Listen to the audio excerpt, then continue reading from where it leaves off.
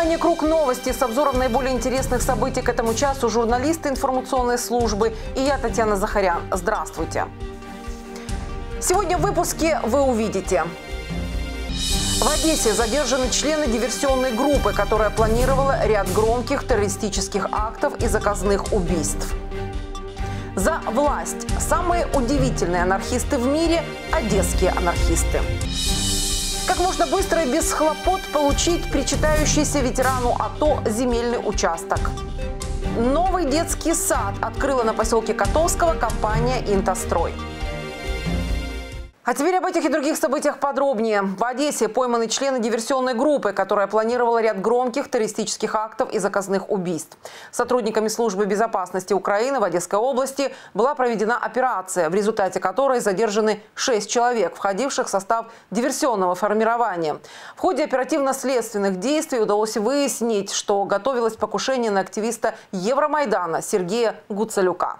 Сотрудники службы безопасности Украины задержали в Одесской области членов диверсионной группы, которая планировала ряд громких террористических актов и заказных убийств. Как говорится в распространенном пресс-службе ведомства заявлении, по заданию кураторов из ГРАУ Генштаба России члены группы собирались, в частности, осуществить взрывы в местах дислокации правоохранителей на военных объектах, волонтерских и общественных проукраинских организаций. Группу сформировал бывший сотрудник российской спецслужбы, который находится на временно оккупированной территории Автономной Республики Крым. Первой ее задачей была физическая ликвидация лидера Одесского Евромайдана Сергея Гуцулюка, а непосредственными исполнителями преступления должны были выступить члены одной из районных ячеек Одесской областной областной организации Коммунистической партии Украины.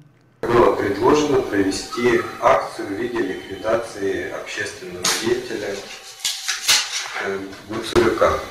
Осуществить данное мероприятие должна была э, коммунистическая ячейка. Также одним из условий, которые должно было состояться мероприятие, должна была проводиться фото или видеосъемка по возможности. Активист должен был быть устранен на маршруте движения к дому в районе поселка Корсунцы путем осуществления засады с помощью коктейлей Молотова и металлических прутьев. Э, значит, Олегом было озвучено, что в автомобиле могут быть члены семьи Луцелюка, на что я доложил Андрею Коваленко, и мне было сказано, что ликвидировать всех, кто будет находиться в автомобиле. Мы связались с Сергеем Гуцулюком, который в телефонном режиме подтвердил факт организованного на него покушения. Впрочем, как говорит сам Гуцалюк, на его политическую активность произошедшее никак не повлияет. Вот эта фаза горячая, которая происходит на Востоке, она, она один из фронтов борьбы другой, другой здесь приходит, потому что детство для них это очень, очень важный момент, очень важная точка. И они, как мы видим, не, не, не глушаются никакими методами. Вот эти вот серии терактов, которые уже происходили, и серия покушений и подготовок к покушению на активистов. Спасибо всем одесситам за поддержку. Вместе мы все-таки добьемся того, что все будет нормально, и нас впереди ждут очень большая битва – это выборы. Напомним, это уже не первая попытка физического воздействия на активиста. Так, в сентябре 2010 года, тоже накануне местных выборов, в результате поджога сгорел автомобиль активиста. Также была предотвращена попытка поджечь дом Сергея Гуцулюка. Сам Евромайдановец связывал это со своими выступлениями против известного своими сепаратистскими взглядами Игоря Маркова. На этот раз погибнуть мог не только Сергей, но и его близкие, которые в момент совершения преступления тоже могли находиться в автомобиле. Сейчас задержанные дают показания о непосредственном участии и распределении ролей в реализации преступного замысла. Открыто уголовное производство по части 1 статьи 14 «Приготовление к преступлению» и части 1 статьи 258 «Террористический акт» Уголовного кодекса Украины. Перестрелка преступников с милицией произошла минувшей ночью на трассе Одесса-Котовск. Оперативники проводили операцию по задержанию убийц одесского таксиста. На поиски подозреваемых ушло 4 дня. Тело таксиста с огнестрельными ранениями в голову было обнаружено в посадке поблизости от аэропорта 11 сентября. По оперативной информации, преступление совершили трое подельников. Один из них, одессит, сбежал из Луганского следственного изолятора, где отбывал пожизненное заключение. Но злоумышленники оказали сопротивление. Применив огнестрельное оружие против работников, сотрудников милиции и бросив в их сторону гранату, от чего сотрудники милиции получили ранения. Оценив ситуацию, милиционеры, согласно статье 15 закона Украины о милиции, применили огнестрельное оружие для, задерж... для отражения нападений на сотрудников милиции и задержания лиц, оказывающих вооруженное сопротивление. В результате двое злоумышленники погибли, а третий был задержан. У преступников изъяты автомат и два пистолета. Раненые милиционеры проходят лечение. Постановлением Одесского горосберкома от 12 сентября сформирован состав районных избирательных комиссий в нашем городе на местные выборы. Всего созданы четыре комиссии по числу районов в Одессе. Что за комиссия, создатель, так и хочется классически воскликнуть, глядя на состав этих самых районно-избирательных комиссиантов. Итак, по порядку, кто же, кто же эти люди и партии, кому дано избирательное право подсчитывать наши с вами электоральные голоса. Согласно законодательству, половина состава комиссии укомплектована представителями местных организаций политических партий, у которых есть парламентские фракции Блок Петра Порошенко «Солидарность», Всеукраинское объединение «Батькивщина», Народный фронт, Оппозиционный блок, Объединение «Самопомощь», Радикальная партия Олега Ляшко. Ляшко. Вторую половину состава комиссии сформировали путем жеребьевки, в которой участвовали местные организации других политических партий. И здесь начинается удивительное. То есть многие удивятся, когда узнают, что есть у нас в Одессе партия, например, «Наша земля». Именно представитель нашей земельной ячейки стал председателем комиссии Суворовского района, той самой, которую еще пару лет назад возглавлял ныне глава избиркома Игорь Чижевский. Итак, что мы знаем об этой широко известной в узких кругах политической силе? Собственно, ничего, кроме того, что создана она с единой целью раздать всю землю крестьянам, в смысле фермерам. То есть, видимо, предполагается, что близкая к сельскохозяйственным проблемам партия будет настолько популярна среди горожан, что считать их голоса на нашей земле доверили именно этой силе. Еще одна популярная среди определенных слоев населения партия пенсионеров Украины. Секретарем комиссии Приморского района стала представительница этой возрастной партии. В Малиновском районе, как бы для конкуренции, заместителем главы комиссии стала представительница уже молодежной партии Украины. Не хватает, пожалуй, лишь детской партии до партии тех, кому за 30. Ну, глядишь, к следующим выборам придумают. Но, пожалуй, самая удивительная комиссия подобралась в Киевском районе. Там секретарем представитель, вынырнувший из небытия партии «Зеленых», а главой член пиратской партии Украины. Да, оказывается, есть и такая партия. А почему бы и нет? Почему бы политическим корсарам не создать свою политическую силу? Тем более, что глава районной комиссии только сейчас представляет пиратов Украины. А раньше, как сообщает интернет-издание «Рупор Одесса», он возглавлял управление внутренней политики Горсовета и неплохо разбирается в вопросах подготовки и организации выборов, поскольку работал еще с Русланом Баделаном, человеком, хорошо знающим, как надо надо совмещать право голоса с обязанностями чиновника мэрии. Самые удивительные анархисты в мире. Одесские анархисты выступают не против власти как таковой или конкретных ее представителей. Наши последователи Махно не устраивают пикеты под мэрией против продажи Аркадии, застройки высотками центра города или создания полулегальных частных армий.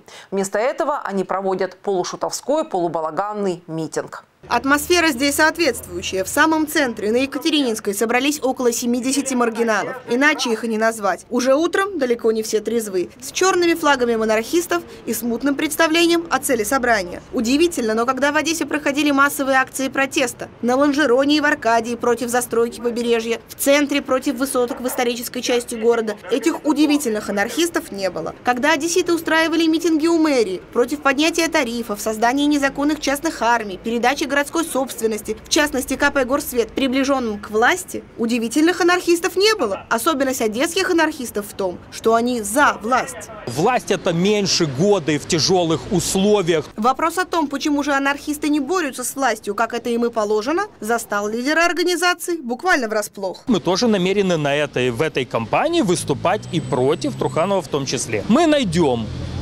определенные темы. Я вам сейчас не готов сказать. Мы просто как бы раскроем свои карты. Еще более удивительно, что объект критики анархистов не действующая власть, обладающая админресурсом и пилящая бюджет. Не чиновники и депутаты, наделенные реальными полномочиями. Главная проблема недоанархистов – то, что Эдуард Гурвиц планирует баллотироваться в мэры. Чтобы сообщить об этом, они пришли под стены его общественной приемной. Требуют, чтобы политик ушел на пенсию. Жизнь на пенсии прекрасна! Жизнь на пенсии прекрасна!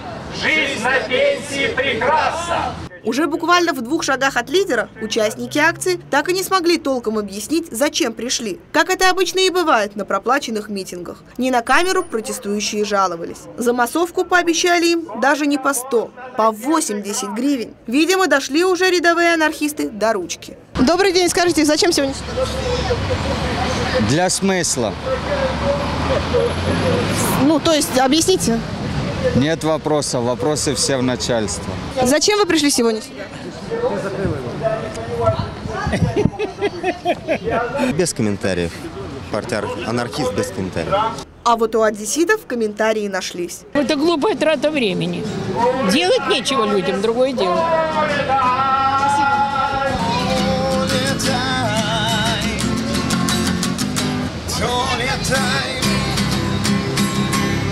Как вам проведение такой акции прямо по соседству с вами? Я за Гурвица. О том, кто стоит за акцией анархистов, можно судить и потому, что освещали это событие, кроме нашей телекомпании, только представители промэрских СМИ. Последний раз такая публичная активность проявлялась анархистами аккурат перед прошлыми выборами. Тогда они также выступали против Эдуарда Гурвица и явно испытывали кризис жанра. Три, четыре.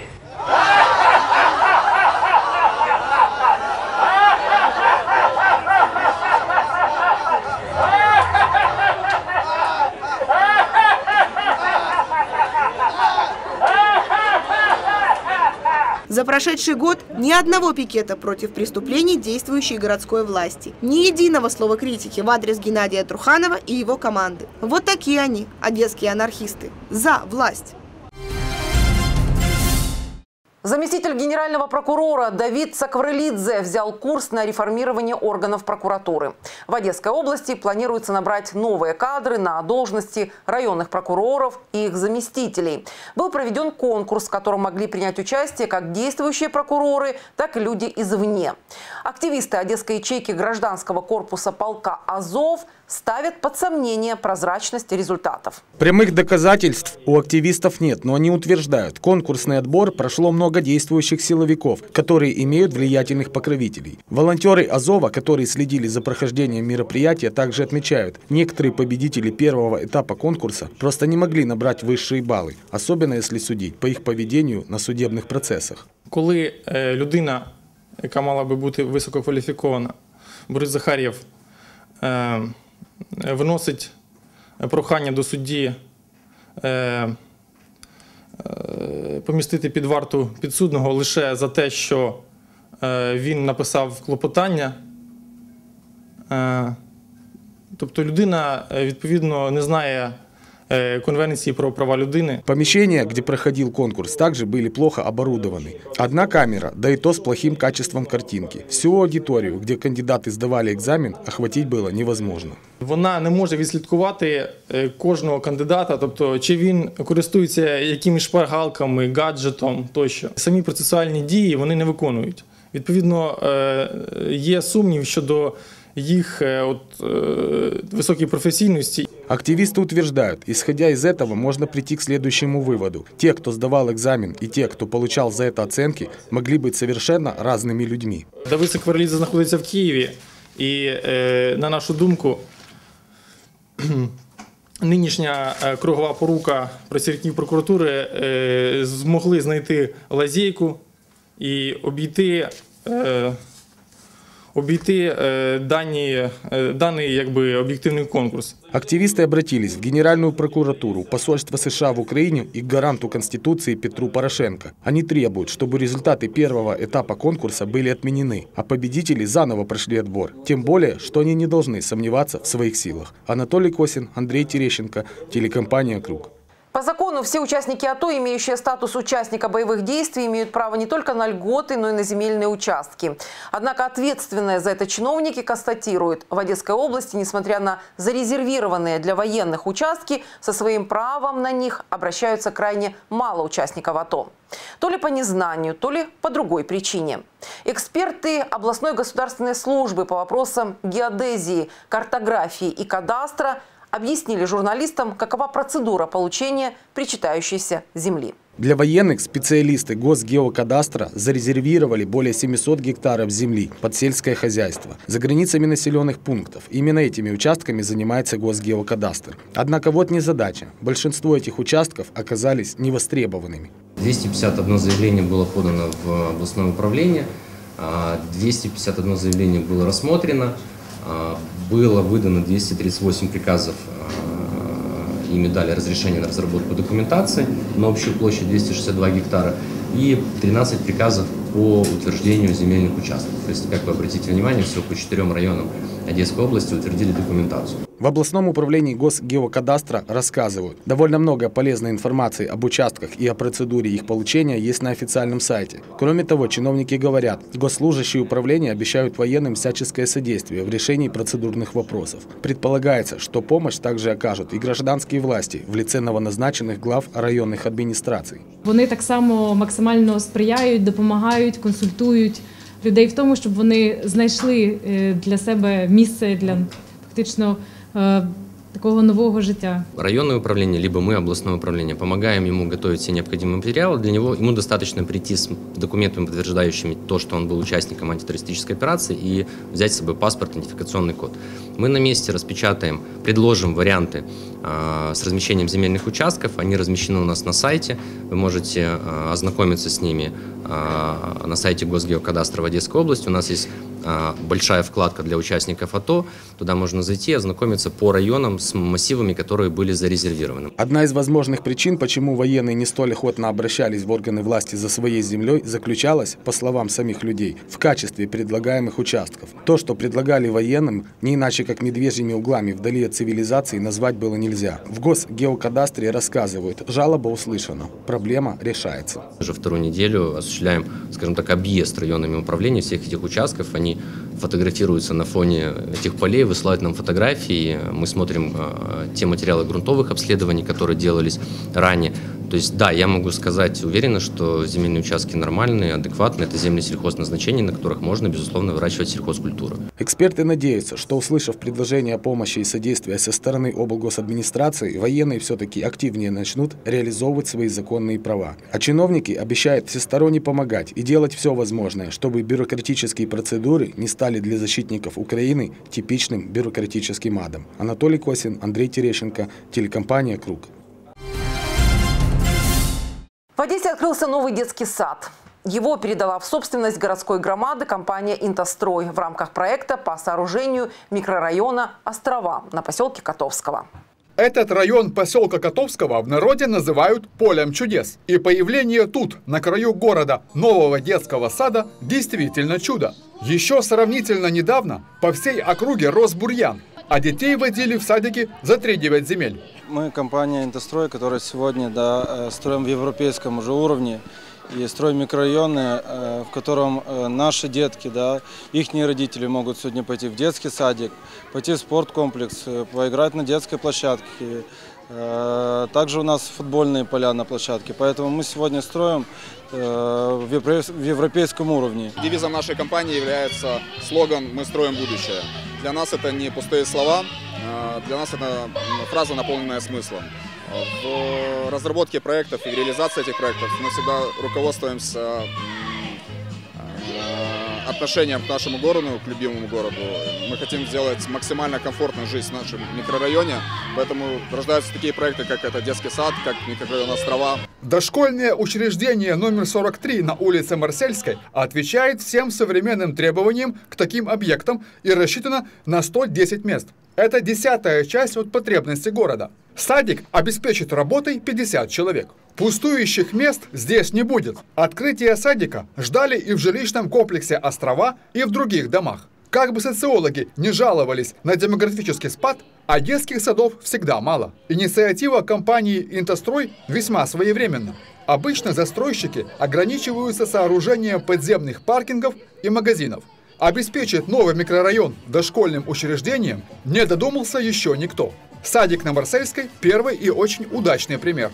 Очень красиво, мы очень довольны, потому что мы долго ждали самого рождения, стояли в очереди.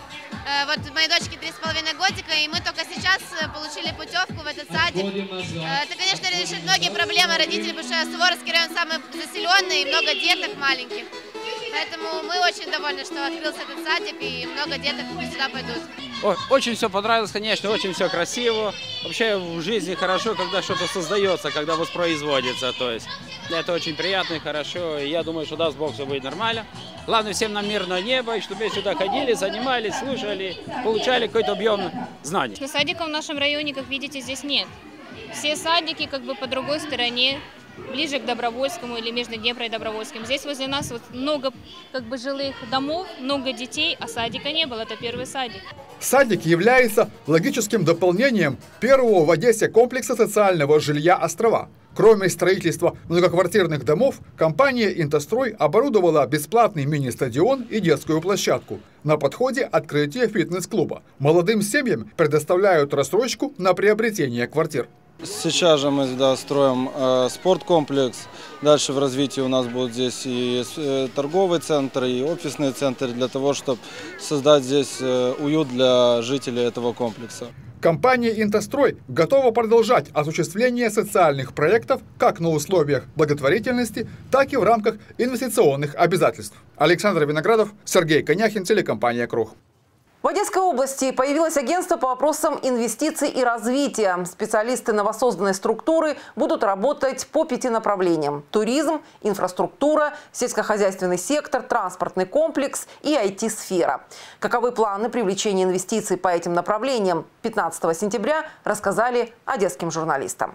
Работа агентства будет заключаться в разработке инвестиционных планов и предложению их крупным международным финансовым организациям или частным лицам. Проекты могут быть государственно-частного партнерства с возможным финансированием из государственного и коммунального бюджетов. Планы у новых специалистов действительно наполеоновские. Например, та же дорога Одесса-Рени. Мы работаем над очень интересными проектами морского сообщения по берегу Черного моря от Одессы, Ильичевска, Южного, затоки Каролина Бугаза в морские и курортные города Дуная.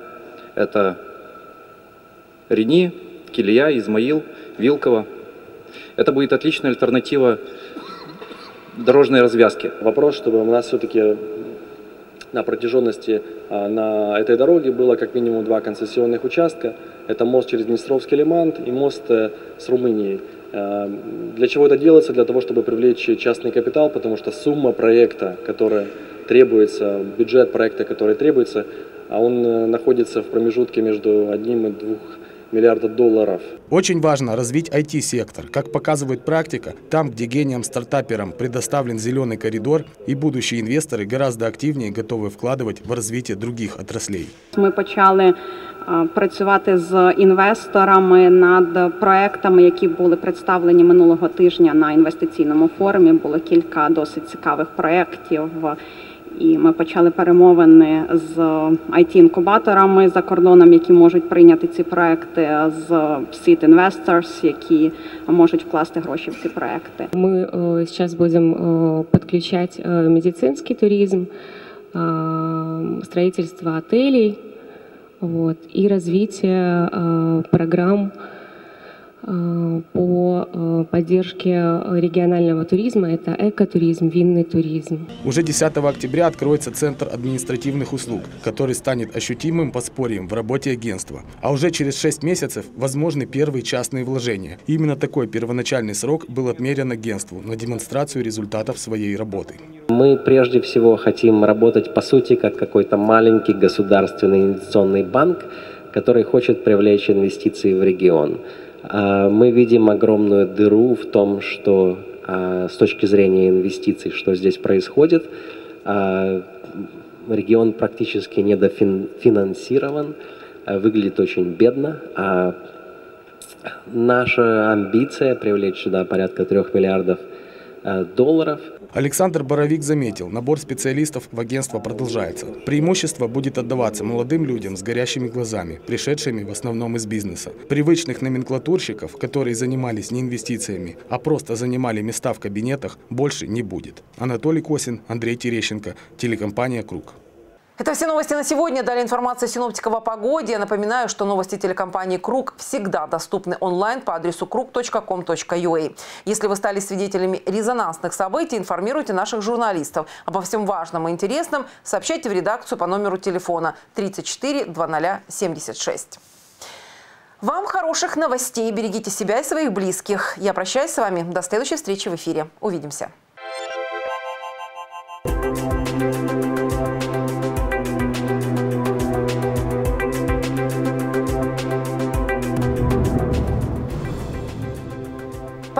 Прогнозу гидромедцентра Черного и Азовского морей 16 сентября в Одессе ожидается переменная облачность без осадков. Утром туман, ветер восточный 7-12 метров в секунду. Температура воздуха ночью 13-15, днем 20-22. Температура морской воды 20-21.